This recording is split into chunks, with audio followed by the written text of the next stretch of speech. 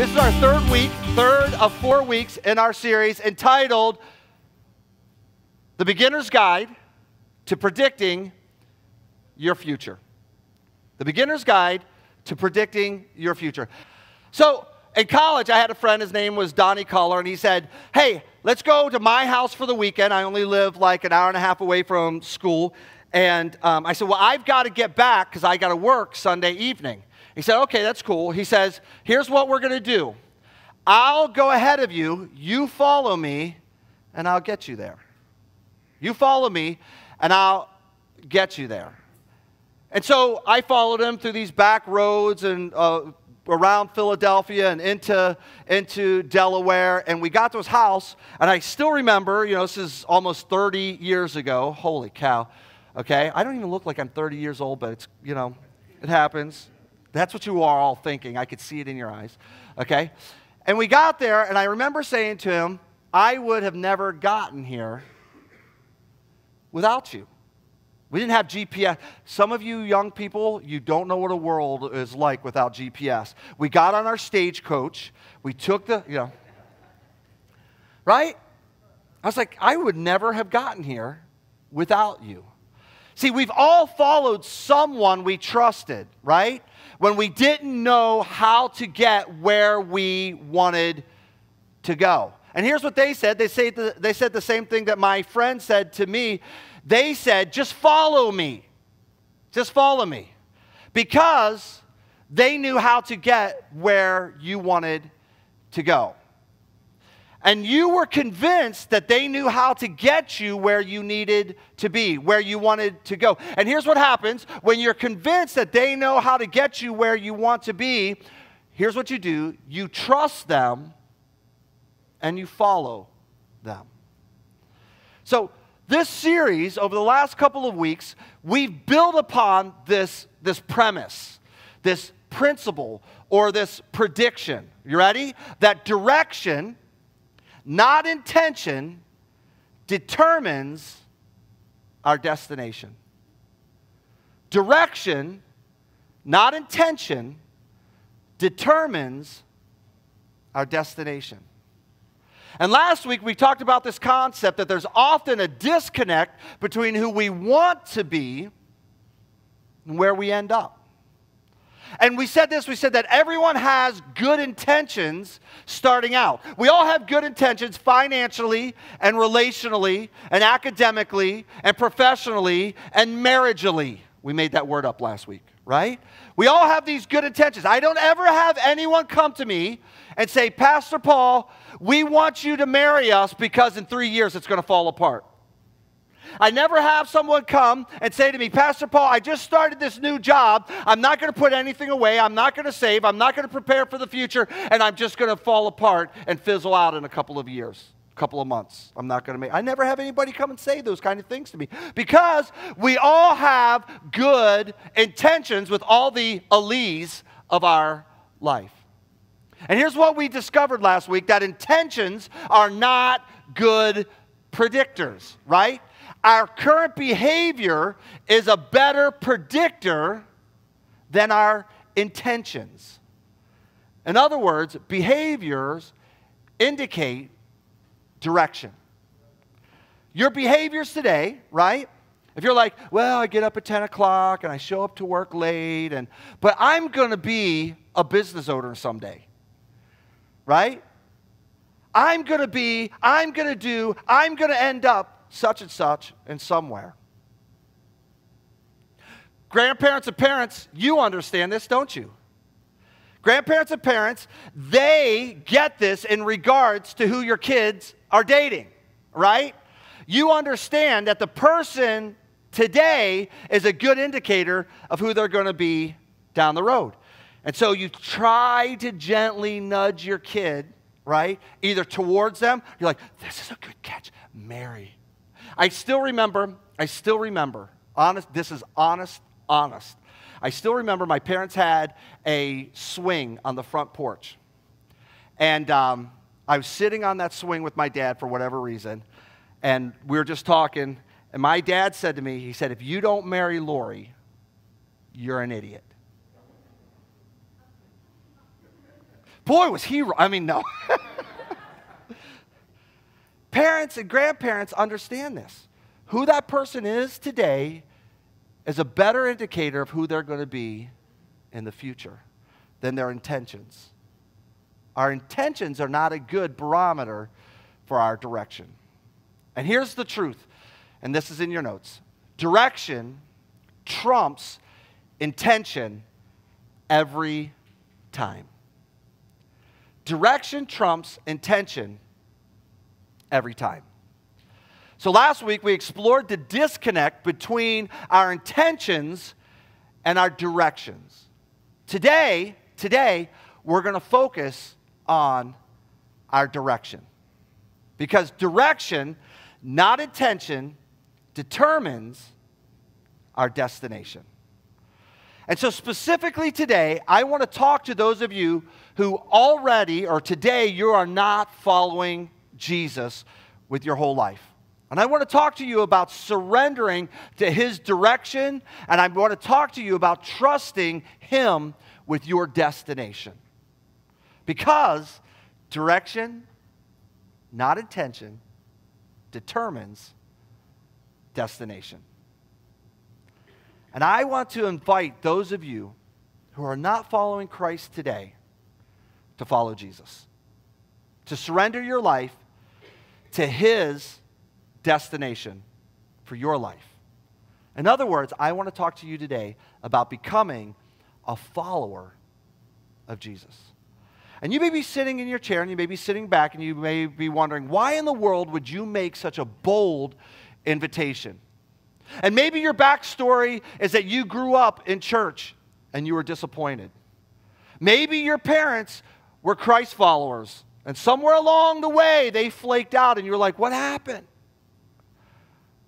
This isn't what I signed up for. This isn't what I expected. Maybe you asked God for something at some point in your life and you didn't get it. Perhaps you would look back on the story of your life and you are disappointed in the past. And you're wondering, why would you make such a bold invitation? And here's why because for 2,000 years, people all over the world, and they come from all kinds of backgrounds, they come from various locations, they have been responding to Jesus' invitation to follow him. And so I'm making the invitation today because I've heard so many people say this in, their, in relation to their relationship with Jesus. They said this I would never be here, or I would never have gotten here without you. I would never have gotten here without you. You know, here at Shoreline, one of our favorite days of the year, and we're hoping to be able to do it more than just one day a year. One of the favorite days of the year here at Shoreline Community Church is when we do baptisms. Because it's a celebration that people are saying, I have decided to follow Jesus and I'm not going back. I have decided that my destination is going to be determined by Christ. I have decided that I'm not just a, a, a, looker, I'm not just a searcher, I'm not just someone who's standing off from a distance. I'm going to follow Jesus with my whole life, and I'm going to trust Him with the destination of my life. And so we get excited about baptisms here on, on uh, uh, once a year here at Shoreline Community Church. And here's what those who are being baptized are essentially they're saying they're saying apart from deciding to follow Jesus, I would not be here without him.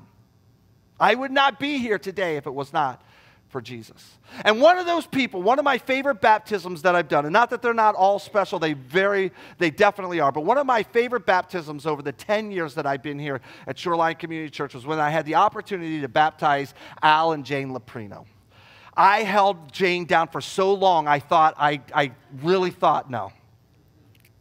But the reason it was such a special day for us was because we had walked alongside of Al and Jane as they came to that decision to follow Christ. And they had come to Shoreline Community Church at the, at the invitation of someone who attended the church at that time. And they've told the story. And if you've not heard the story, make sure you stop by. They love to tell you their, their story of coming to faith. And it's a great story. Someone invited them, and they were kind of skeptical, but they came and said, ah, we'll try it out and we'll see what it's like. And, and the really neat thing, and I called Al just to kind of get some of the details again from him this week. And one of the, the things that always stood out to me about Al and Jane's story was they were not in like their marriage wasn't falling apart and they hadn't just lost their jobs and, and there wasn't like, you know, their world was necessarily falling apart. There wasn't any of that. And sometimes that's how people come to faith and they're in kind of a crisis mode and they reach out and they find out that God is exactly who he claims to be even in our tough times and in our tough situations. But that wasn't totally where they were at. And they, and they came and they started to check it out and, and Al was definitely skeptical and Jane was as wonderful as Jane always is. And, and, um, and they started coming, and, and, and the really kind of cool thing about it is you meet Al and Jane, and you'd never expect that this would be the Sunday that they crossed the line of faith. We had uh, two WWF wrestlers that were here, and they were sharing their story about how they had been at the height of popularity and fame, and how there were people all over the world who knew who they were, but they had fallen, and, and they came to a point where they needed Christ, and they shared their story, and they asked people if they would come and be followers of Christ. And Al and Jane made that decision on that day to become followers of Christ.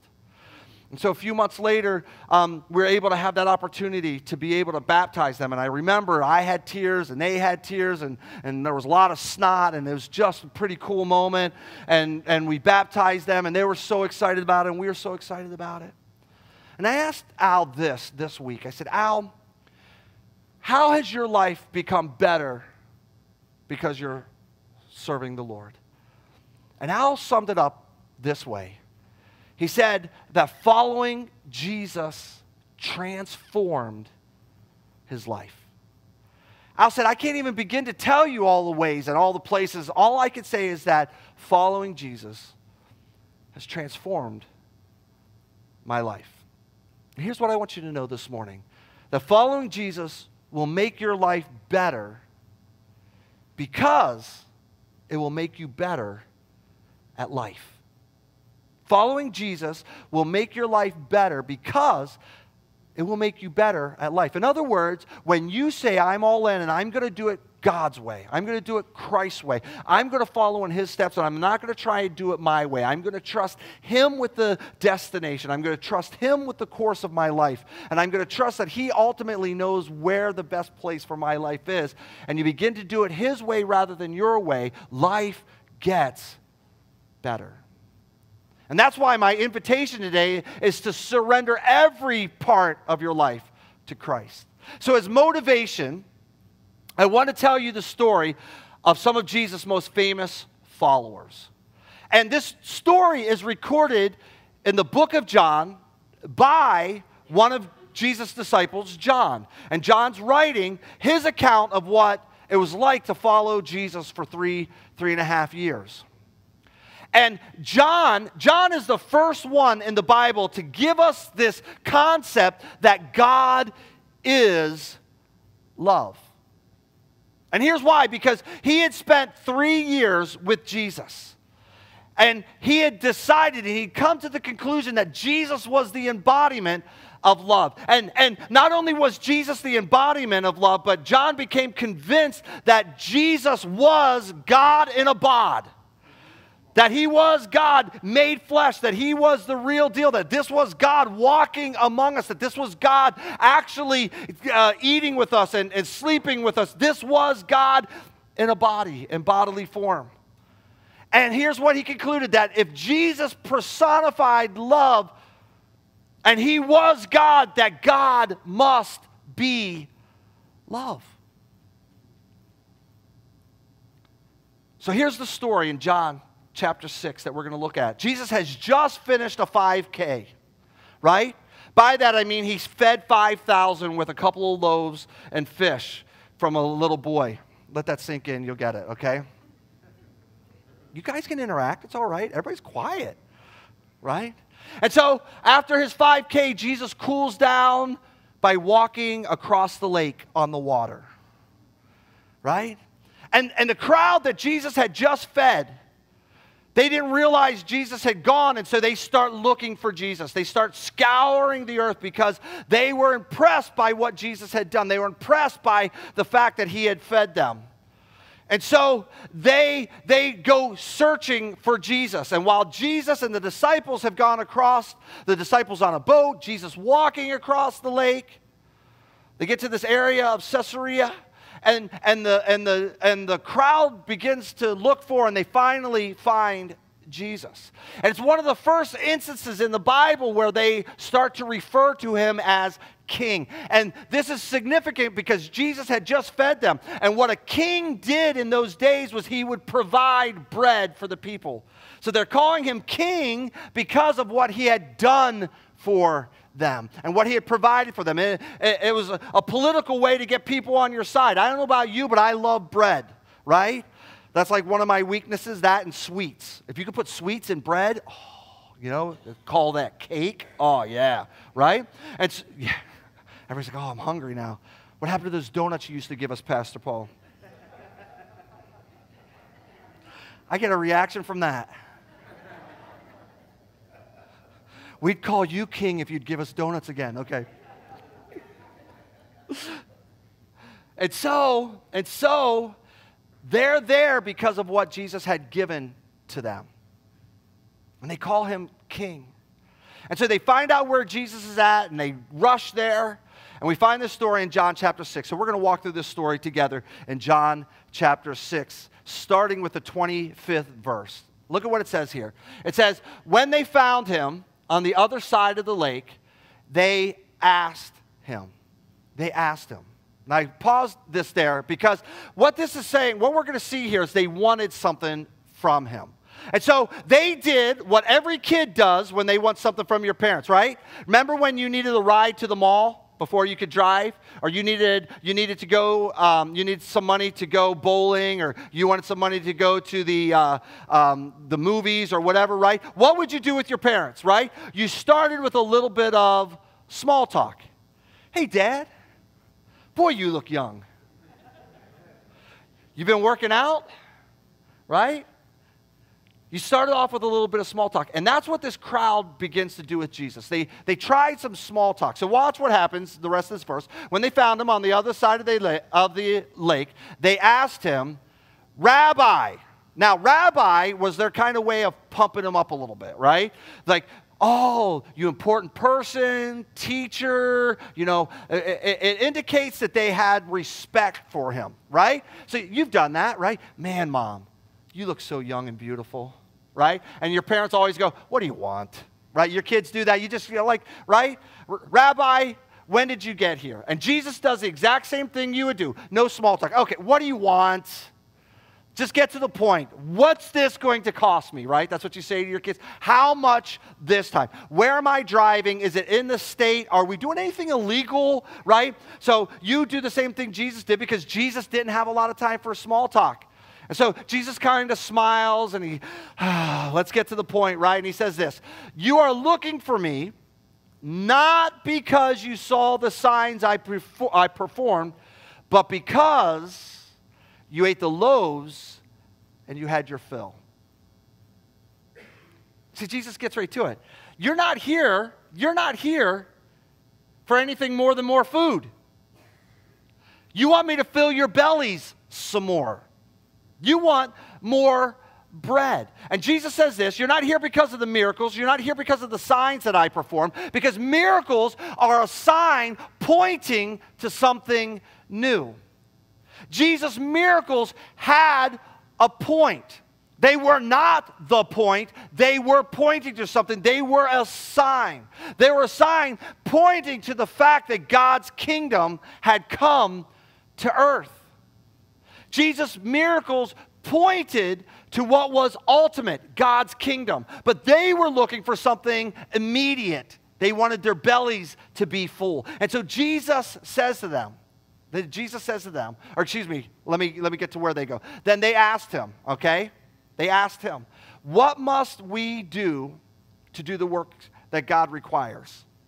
So they said, Okay, Jesus, if you don't want to feed us, if you don't want to feed us, how about you teach us how to do the trick. That way we can make our own bread. Hey, Jesus, do you have like those bread makers? Right? So we could just, if you handed out one to everybody and gave us a lifetime supply of flour and whatever else goes into bread, I got to be honest, right? Could you just do that for us? That way we wouldn't have to bother you anymore, right? Right? They're, they're, they're kind of saying it was really cool how you did that with the, you know, the boy, the loaves, the fishes. Can you teach us how to do some of your tricks? And then Jesus answered The work of God is this to believe. Everybody say, believe. believe. To believe in the one he sent. See, here's what belief means it's very important. As a matter of fact, this is really profound yet simple, right? Jesus says, believe in the one that God has sent. That's very simple, isn't it? Oh, just believe? But real belief means this real belief means that you trust me, and real belief means that you follow me. Now, I could have said to my friend Donnie, all the way back in college, I could say, Yeah, Don, Donnie, I, I believe you, but you know what? I'm going to grab my map to make sure I can get there.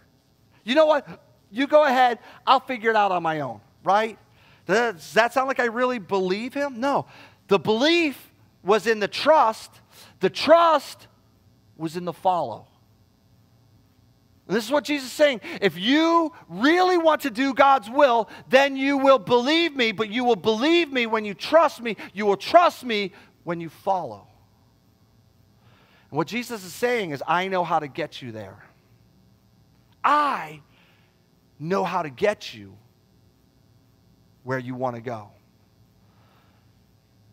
Now, you can imagine these folks did what a lot of us do, right? They try to change tactics. it can't be that easy. Have you ever talked to someone? Like, It can't be that easy just to believe. It can't be that easy just to accept Christ. It can't be that easy just to follow. There's got to be another way. There's got to be something else I have to do. So they changed tactics and they said this. They said, What sign then will you give that we may see it and believe you? What will you do? Now we look at this. Now come on, because I saw a couple of you just snicker. He just fed 5,000 people, right? He's healing people all over the place. He walked on water, right? Okay, Jesus, um, how about you give us a sign, right? And we look at that and go, no, no, no. Here's what they were really saying. Here's what they were saying. They're really saying, Jesus, you know what? I got this crazy idea. You're not going to believe what just popped into my head. I mean, the craziest thing. You ready? Verse 31. Our ancestors ate the manna in the wilderness. As it is written, he gave them bread from heaven to eat. See what they're still fixated on? Right? In other words, I just had this crazy idea, Jesus. Why don't you do what you did yesterday? As a matter of fact, we got the boy, right? Let's grab, grab a boy. Does anybody got a boy here? Right? Get a couple, right? We want to remanufacture the miracle. Let's see what we can. Jesus, if you could just continue to give us bread.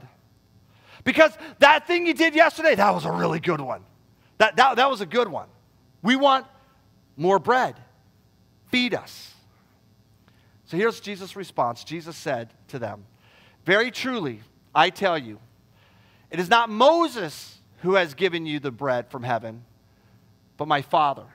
Verse 33 For the bread of God is the bread that comes down from heaven and gives life to the world. How many of you have ever watched It's a Wonderful Life? The rest of you are pagans. How do you not watch It's a Wonderful Life? Seriously? There are people who've never seen It's a Wonderful Life? If you're here, you've never seen It's a Wonderful Life, raise your hand. Get a life.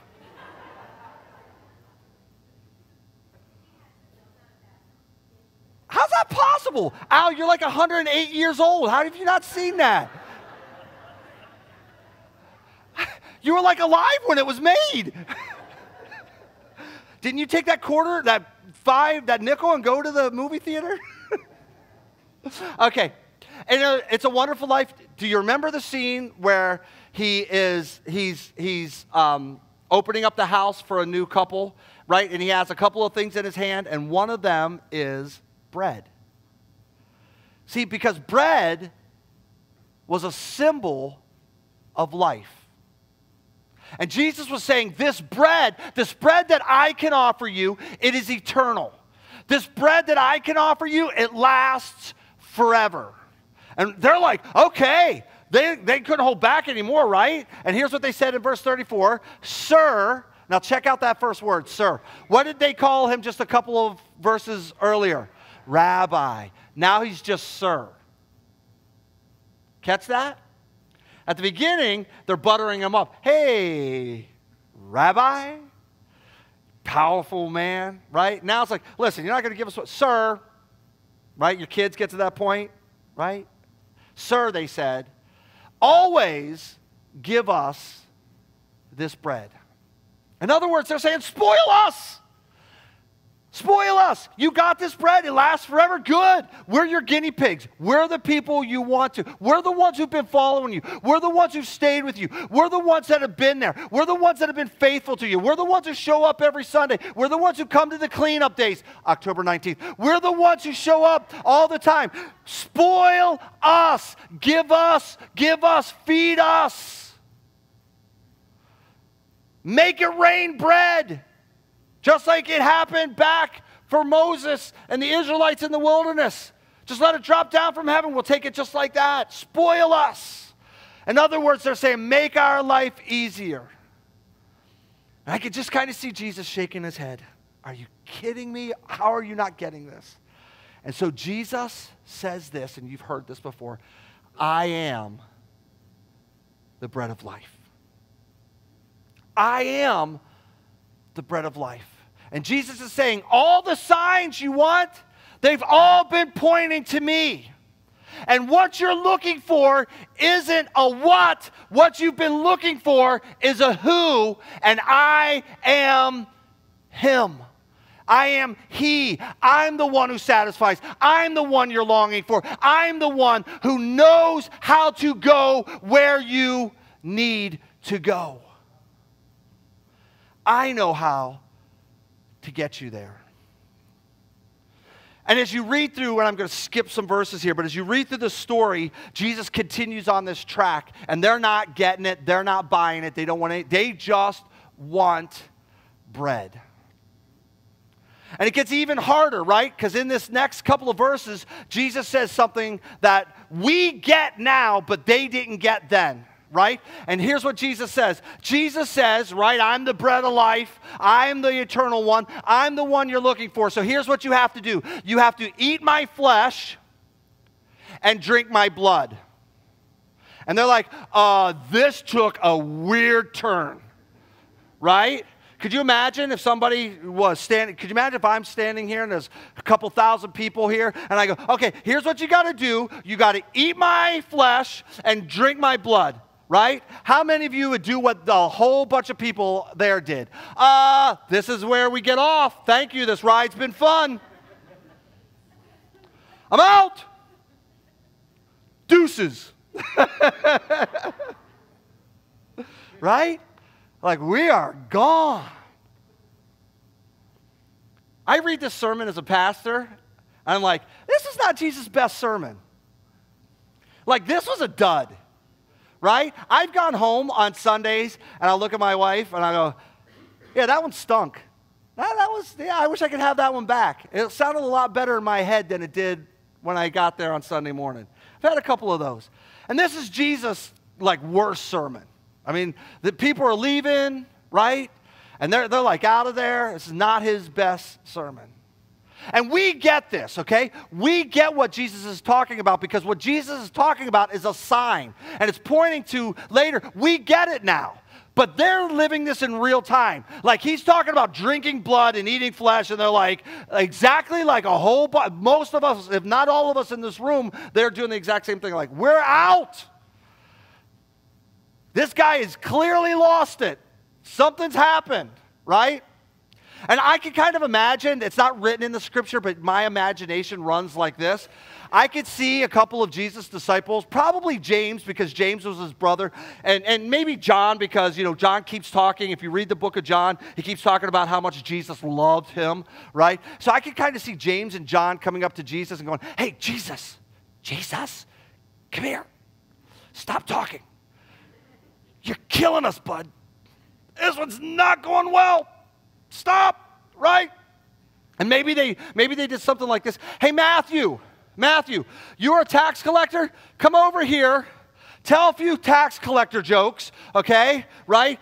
Jesus will be back in a moment, folks, right? And they grab Jesus and they're like, Jesus, you're killing us here, right? People are leaving. You've got to, you got to, you got to do a couple of miracles, right? Give some bread out. You got to turn this thing around. People are leaving. And here's what happens in verse 60. On hearing it, many of his disciples, now listen, these aren't the 12, okay?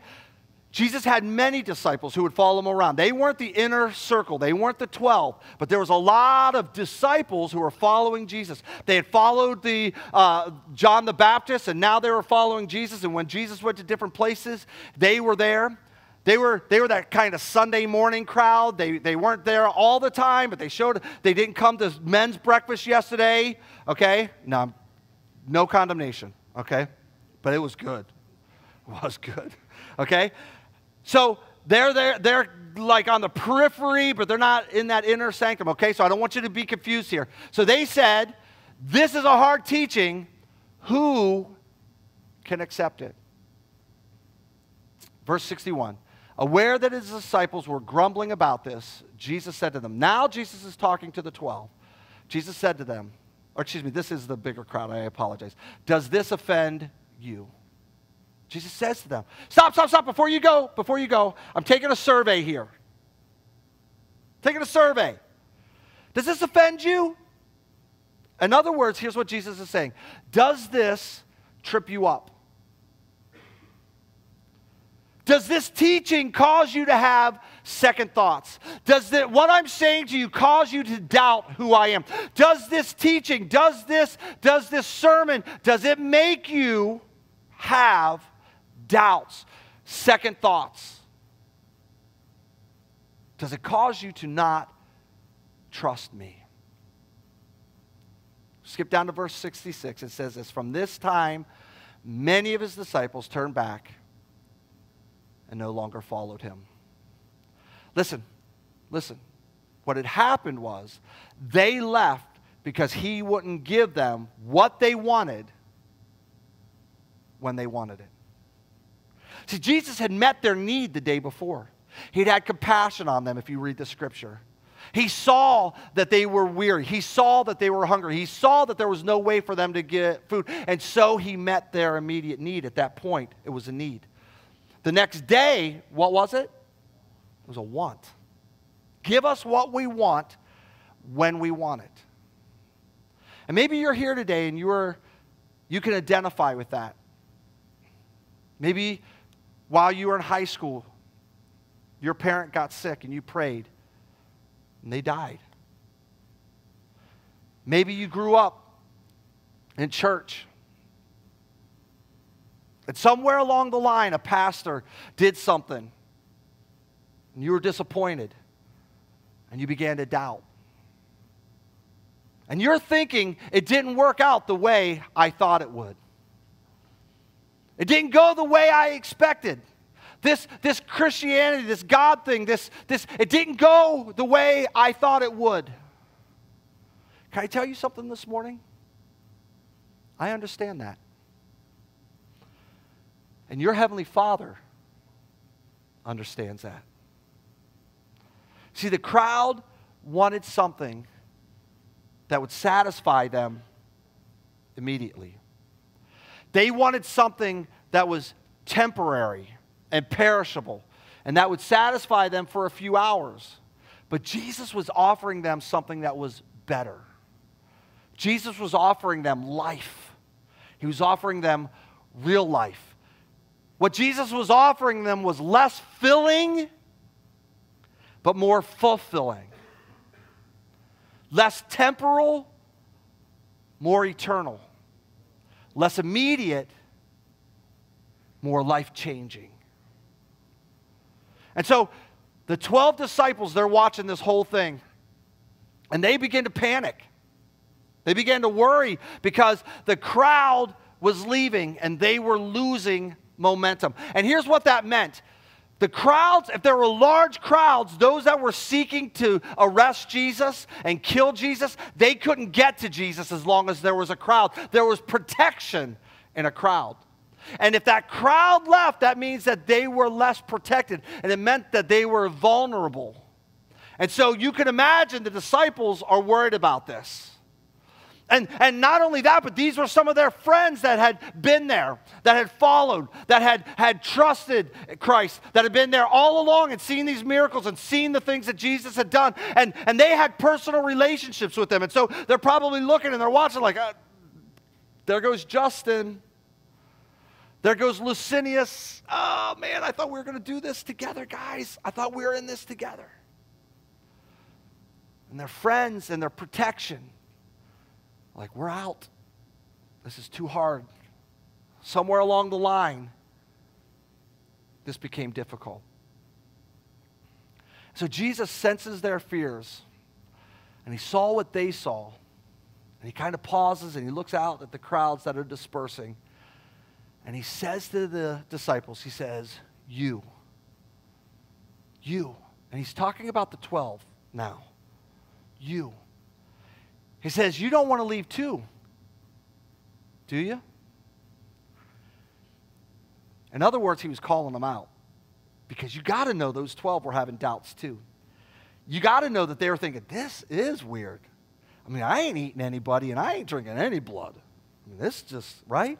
Jesus always explains it to us. So let's hang on because this is going to make sense later, right?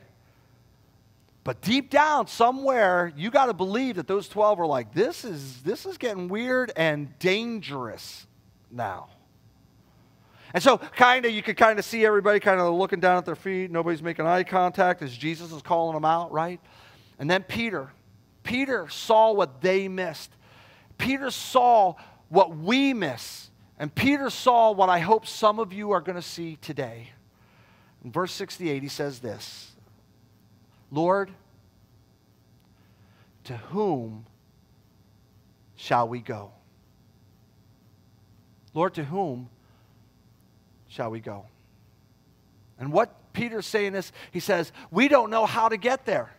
And Jesus, if I'm really honest, we don't even know where there is most of the time. We don't even know where there, we don't know what you're talking, where we're going. We just, we're kind of lost here. And yeah, it's about to get difficult, yet moving in a different direction doesn't guarantee a better destination. And Peter was saying this Peter was saying, Jesus, if not you, who? Jesus, if not you, who?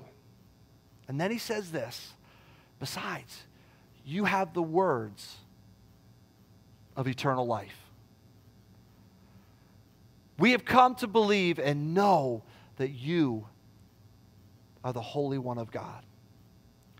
And here's what, Jesus, uh, what Peter's saying. He says, Before you, Jesus, there was fishing, there was family, there was marriage, there was children, there was death. And Jesus, you have invited us into something much bigger. Jesus, you've given our lives purpose and you've given purpose to our lives. Jesus, we now have somewhere to go. Jesus, we now understand the destiny and the direction of our life. I want you to ask yourself this question today. Because you're going somewhere even if you don't know where. And you know what? You're following someone even if you don't know who. So I want you to ask yourself this question today to whom shall we go? To whom shall we go? And as I read this story this week and I began to prepare for this morning, I began to think about my unfollow moment. My unfollow moment came the summer before I went to Bible college. I had a lot of doubts and a lot of fears, and I was overwhelmed with anxiety about the next steps of my life. Here's the deal I'd grown up in church, and Christianity had served me well. But to pursue this life as a career was a big step. I mean, to be a pastor uh, and make this not just a calling and not just a Sunday morning thing, but all of my life, it meant that my marriage options became smaller. I mean, who wants to marry a pastor, right? And it meant that my wife is going to be a pastor's wife. So, you know, I mean, like, how many people are signing up for that, right? It also meant that my kids would be preachers' kids. And I grew up a preacher's kid, right?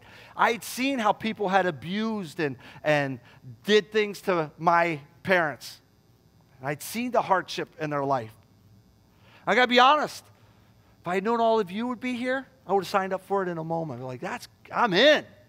I'm in. But that summer before I went off to Bible college, I had a lot of doubts. And I want you to know this if you decide to follow Jesus, there's no guarantee that everything will be easy.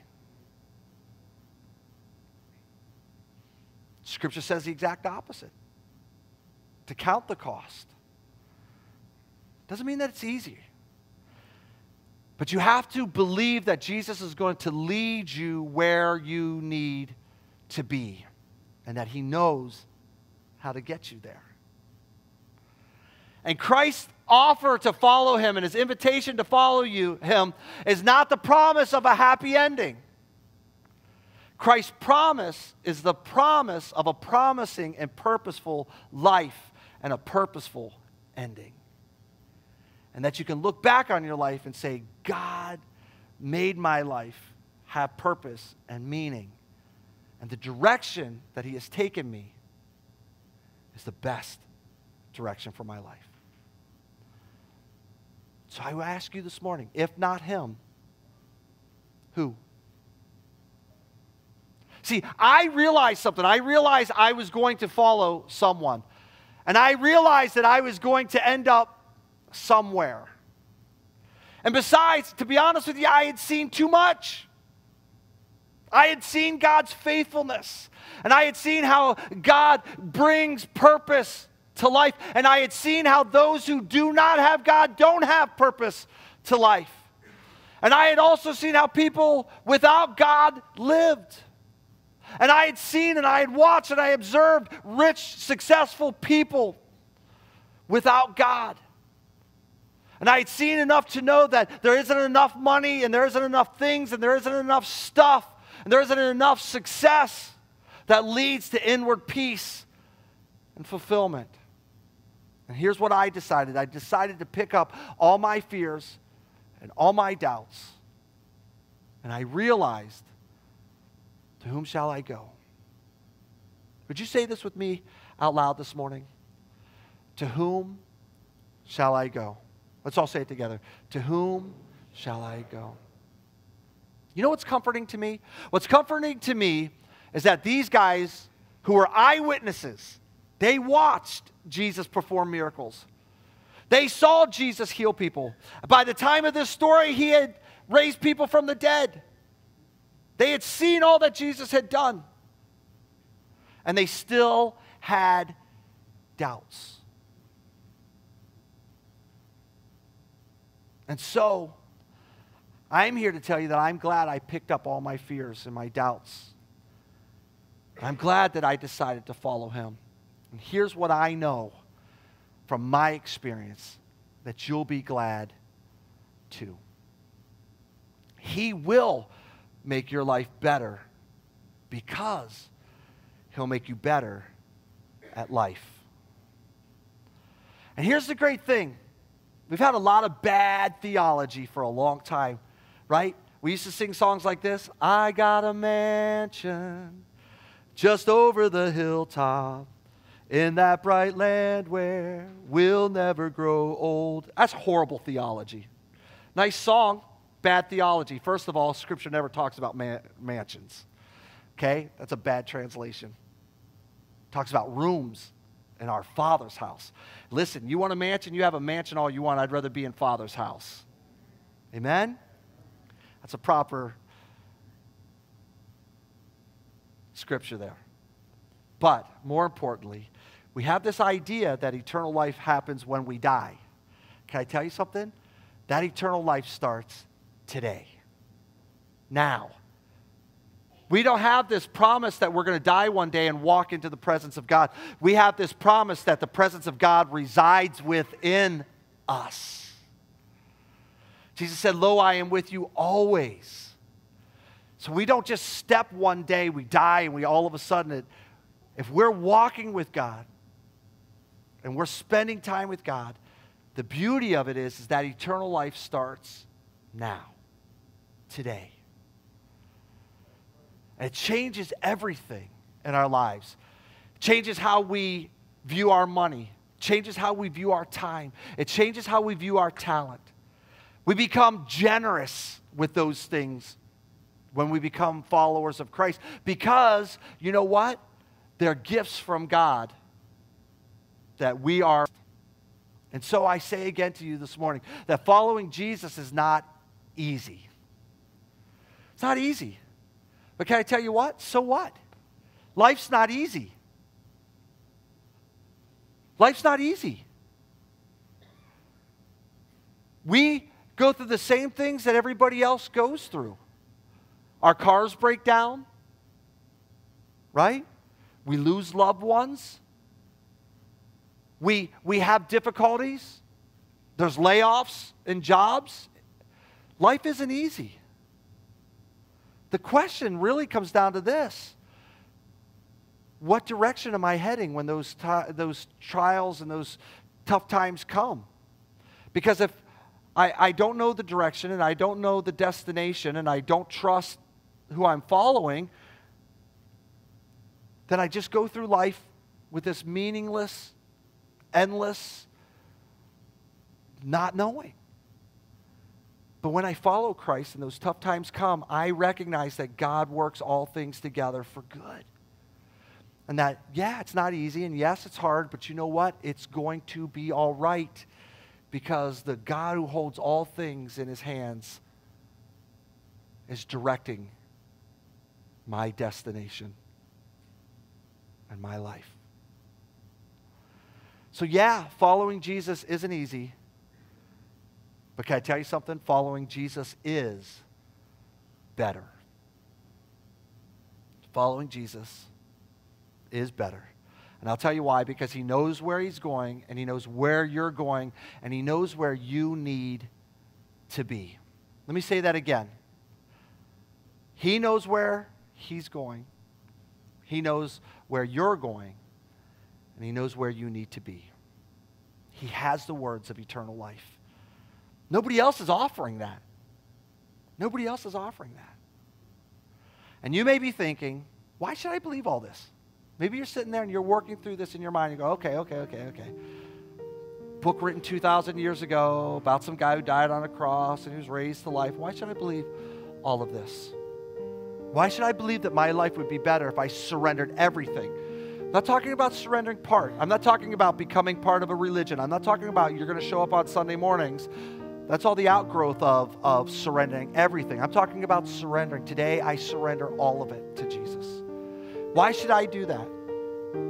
Well, here's what stands out to me Matthew, Mark, Luke, John, Peter, Paul, all these patriarchs in the Bible, they all testify that Jesus rose from the dead.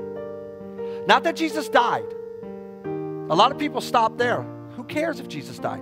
Who cares if, honestly, who cares if Jesus, everybody dies? The only way that Jesus could be who he claimed to be was that he rose from the dead, and we have all these eyewitnesses that testify. John writes this from first person. Listen, you can argue with anything else you want, but you can't argue with someone's story. John said, I was there. I touched him. I spoke with him. I watched him die, and I was there. I saw him after he rose from the dead. I can only tell you my story. And listen, he held to that story. They all held to that story. All of them died on account, and none of them recanted. So I can tell you is that eyewitnesses all proclaim that Jesus did exactly what he said he would do. He rose from the dead to certify his claim, right? That he knows where he's going. He knows where you're going, and he knows how to get you there. So my question to you to you today is this. Will you choose to follow Jesus? Will you choose to surrender to his direction? In other words, not my way, your way. Not my will, your will. Will you surrender to his direction and will you trust him with your destination? Will you trust him with your destination? Will you trust him with your marriage? Will you trust him with your time, with your relationships, with your academics? Will you trust him in every area of your life? That's the invitation today. So I've asked Bud and Lauren to come. I'd like for everybody to stand, and I'm going to ask us to just put our lights back to.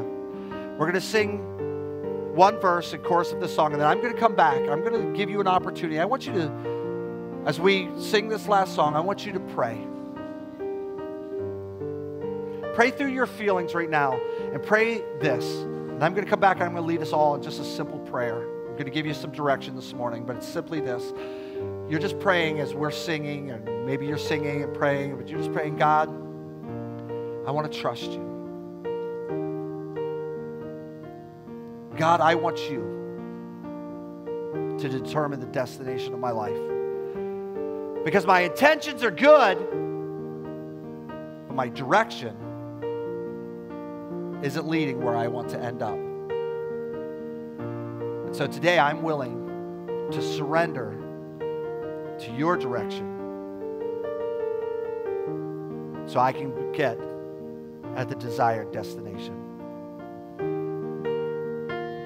Morning. I'm going to ask everybody to join in this prayer with me. Lord Jesus, I thank you that you died and you rose from the dead to clarify that you are who you claim to be. And based on that, I have decided to follow you. I've decided to give you my destination and to trust you that you know where to go. I determine today and I proclaim today that I'm going to follow you. I thank you that you died so that I can have eternal life. And I declare today that I trust you with every facet my life.